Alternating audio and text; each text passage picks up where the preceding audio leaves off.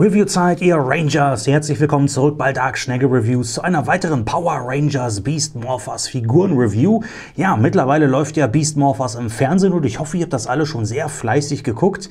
Ähm, es läuft zumindest noch momentan auf Nickelodeon jeden Tag um 15.30 Uhr und ich finde die Folgen persönlich sehr, sehr cool. Und ihr könnt mir auch gerne mal unten in die Kommentare schreiben, was haltet ihr von der neuen Power Rangers Staffel. Passend dazu zeige ich euch heute den dritten Ranger im Bunde. Heute kommt der blaue Ranger Ranger für euch am Start. Ihr seht schon in der typischen Beast Morphers Verpackung daher. Obendrauf sehr stylisch seht ihr schon ein Bild des blauen Rangers, was mir sehr gut gefällt. Das Ganze wieder in diesem schönen großen offenen Window, wo wir die Figur selbst schon perfekt sehen können. Hier seht ihr noch Blue Ranger und dann natürlich das Sabans Power Rangers. Das Ganze von Hasbro ab vier Jahren aufwärts. Hier seht ihr noch, das kennen wir auch von den anderen Figuren schon. Hier ist der Morph Key mit dabei, der Morph X Key, der ist hier am Start. Den könnt ihr dann für euren Power Rangers Beast Morphers Morpher benutzen. Da kommt dann nämlich noch ein kleiner Soundeffekt raus, je nachdem welchen Key ihr halt in diesen Morpher reinsteckt. Auf der Rückseite haben wir wie gewohnt hier einen schönen Einblick auf die Figur, die sich in der Verpackung befindet. Da seht ihr schon, da ist der blaue Ranger am Start. Und auf der rechten Seite alle Figuren, die ihr zurzeit in der Basisfigurenreihe von Hasbro halt kriegen könnt. Ich würde sagen, Leute, lasst ihn uns auspacken. Ich komplettiere somit erstmal meine drei Basis-Power Rangers und ich bin sehr gespannt, wie auch hier der Ranger umgesetzt wurde. Und da haben wir den blauen Ranger aus der Verpackung befreit und ich muss sagen, er gefällt mir recht gut. Ja, kurze Vorstellung natürlich auch hier wieder von unserem neuen Power Ranger. Er wird in der Serie gespielt vom guten Jazz Baduvalia. Ich hoffe, ich habe das richtig ausgesprochen. In der Serie selbst heißt der Ranger Ravi Shaw und ist der einzige Power Ranger, der von der Grid Battle Force offiziell auserwählt wurde, ein Power Rangers zu werden, ähm, der den Angriff durch Evox überlebt hat. Während Rot und Gelb leider dann ins Koma gefallen sind, sind und wurden halt geklont, also es wurden Klonavatare erstellt, ähm, hat der blaue Ranger das Ganze noch Gott sei Dank äh, überstanden und hat fortan dann später halt auch die Rolle des blauen Rangers, die ihm zugesichert wurde, mit übernommen. Gefällt mir sehr gut.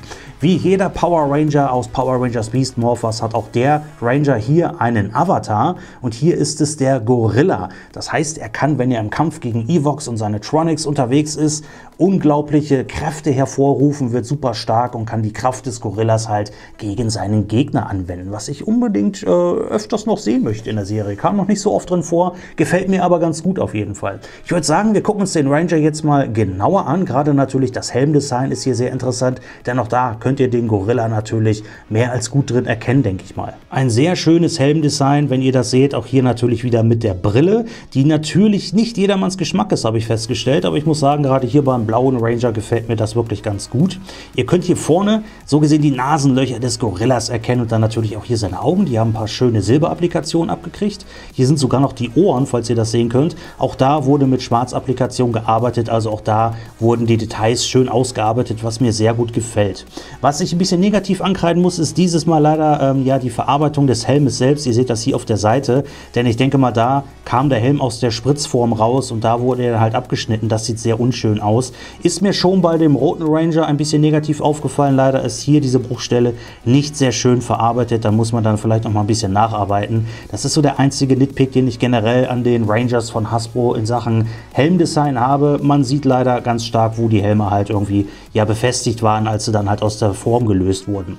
Ansonsten aber muss ich sagen, ist der Ranger solide gemacht, so wie die anderen Rangers auch. Ihr seht das ja, ne, dieses Mal alles komplett hier in Blau und ich äh, erwähne es immer wieder gerne, wenn ihr mal genauer so ein bisschen ja, den Blauton anguckt, da seht ihr auch, dass das Sculpting hier nochmal so ein bisschen auf Leder gemacht ist. Es hat nämlich so eine Struktur abbekommen, denn diese Rangers haben ja Lederklamotten, die ich persönlich um einiges besser finde als so manch andere Rangers. Das gefällt mir, das ist eher so meine Richtung, die ist wirklich sehr stark gemacht.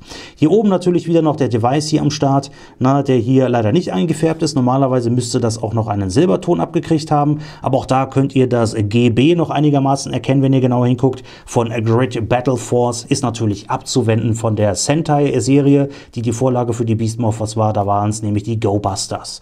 Finde ich gut, auf jeden Fall. Na, natürlich auch dieser Schultergurt hier, der geht komplett einmal rum bis auf die Rückseite.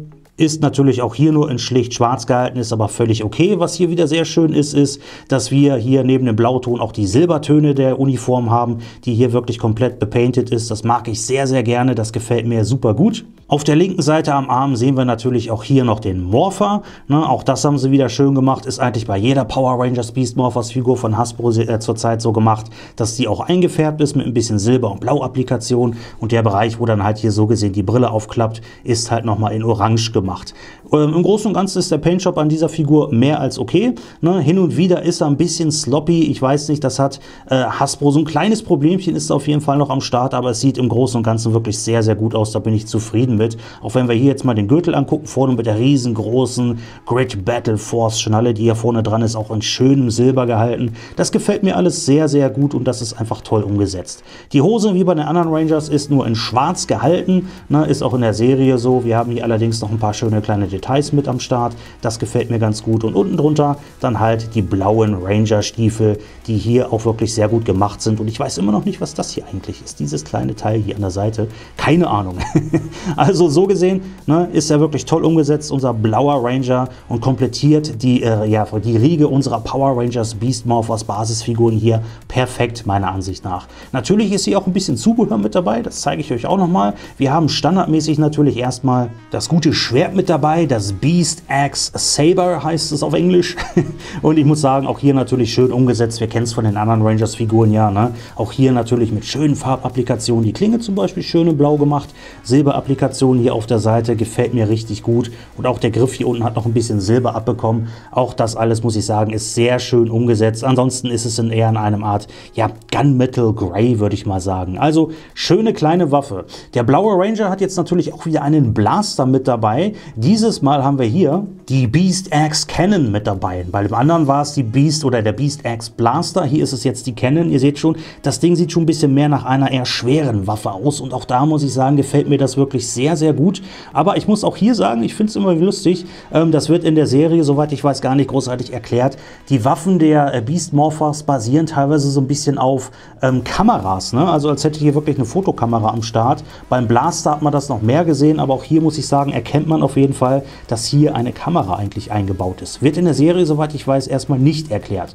Der Blaster selbst ist auch hier in einem schönen Grauton gehalten, hat schön ausgearbeitete Details und auch hier natürlich schöne Farbapplikationen in Blau und Silber mit dabei. Das gefällt mir ganz gut. Na, auf der anderen Seite ist er natürlich ein bisschen farbärmer. Das geht aber noch soweit klar und ein bisschen Chrom, ja, das ist, ist ein bisschen weicheres Plastik. Ihr müsst es ein bisschen zurechtbiegen, aber es sieht wirklich cool aus. Ich mag diesen Blaster, der hat wirklich was. Das ist so ein, so ein großer fieser Knaller auf jeden Fall und passt zu dem Gorilla auf jeden Fall vom blauen Ranger. Also auch da ein schönes Accessory, womit ihr euren Ranger dann halt schön in Pose packen könnt. Ansonsten, so wie wir es von den Beast Morphers schon kennen, ist auch hier der Beast Axe Key mit dabei, der Morph Axe Key und den zeige ich euch noch mal kurz. Dieses Mal natürlich passend zum Ranger in einem schönen Blau und auch da könnt ihr den Kopf des Gorillas drauf erkennen, was ich sehr gut finde. Das hier ist auch eine schöne Farbgebung auf jeden Fall und ich bin irgendwann sehr, sehr gespannt auf jeden Fall drauf, wenn ich das Ganze mal in einen Beast X Morpher reinstecken kann, na, damit ich euch vielleicht auch mal irgendwann die ganzen Soundeffekte zeigen kann.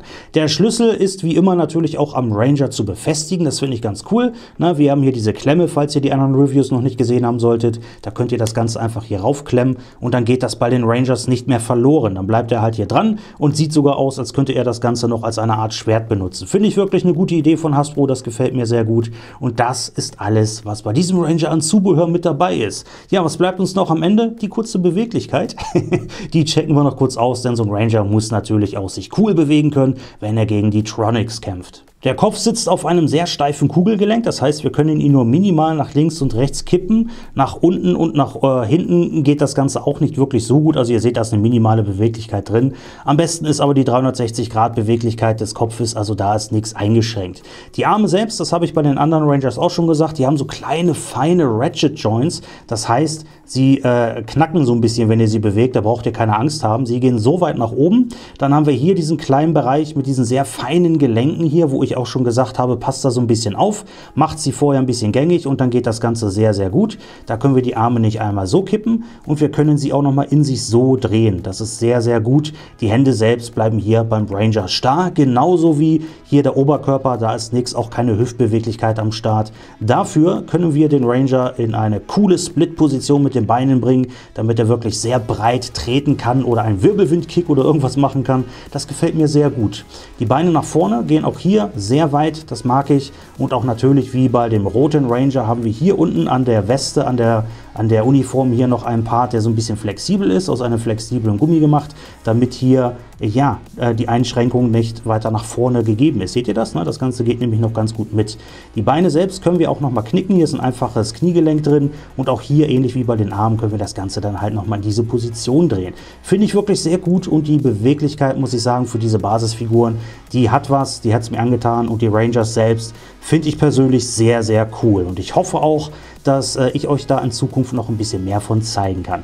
Das ist der Power Rangers äh, Beast Morphers Blauer Ranger. Zusammen mit den anderen Power Rangers macht er sich auf jeden Fall sehr, sehr gut in eurer Sammlung und jetzt habe ich die Grundfiguren soweit erstmal zusammen. Es gibt in Zukunft natürlich noch andere Power Rangers, die bei Beast Morphers auftreten werden. Da werden wir wahrscheinlich in Zukunft auch noch einen kleinen Blick drauf werfen, aber das sind erstmal die drei Power Rangers, womit Beast Morphers halt angefangen hat. Ich hoffe, es hat euch gefallen, Leute. Wie immer natürlich gerne einen kleinen Kommentar unten rein, da würde ich mich drüber freuen. Und ich würde sagen, wir sehen uns dann natürlich im nächsten Video wieder. Also, macht's gut, bis denn dann und go, go, Power Rangers!